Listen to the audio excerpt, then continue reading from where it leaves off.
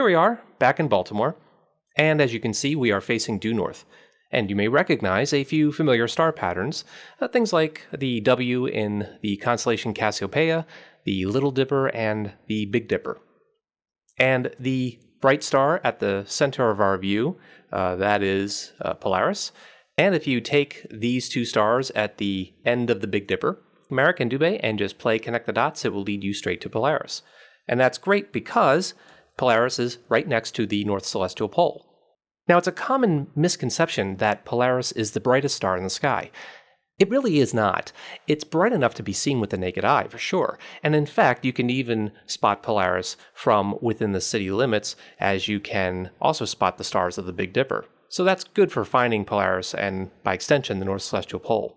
The brightest star in the sky is, well, it's the sun, but the brightest star in the night sky is Sirius in the constellation of Canis Major.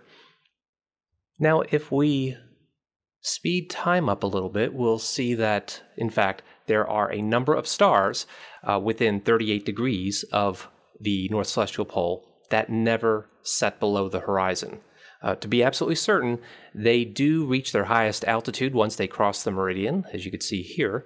But for stars like the W of Cassiopeia, uh, and even for, if we pitch up a little bit here, even for the stars of the Big Dipper, uh, or many of the stars of the Big Dipper, they'll never actually set below the horizon. So anything that lies within a 38 degree radius, at least from our view here in Baltimore, uh, will be considered a circumpolar star. Okay, so if we consider that the North Celestial Pole is somewhere between the zenith and the horizon, it turns out that the North Celestial Pole has an altitude of exactly 38 degrees, which, by the way, happens to be our latitude on Earth in Baltimore, 38 degrees. So the latitude of the North Celestial Pole is always going to be your latitude, at least in the Northern Hemisphere.